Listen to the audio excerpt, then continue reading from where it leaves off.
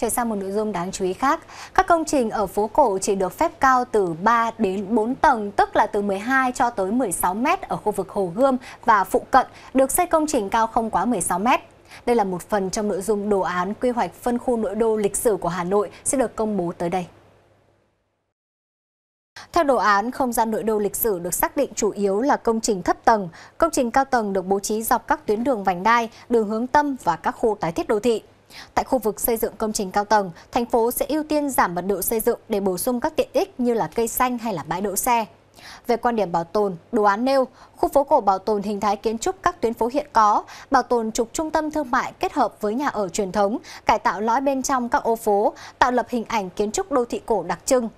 Tổng thể 6 đồ án quy hoạch phân khu đô thị nội đô lịch sử có quy mô nghiên cứu trên 3.000 ha. Số dân theo quy hoạch dự kiến gần 700.000 người trên tổng số 1,2 triệu dân nội đô lịch sử. Đồ án cũng đã nhận được sự ủng hộ của Bộ Xây dựng, Bộ Văn hóa, Thể thao và Du lịch.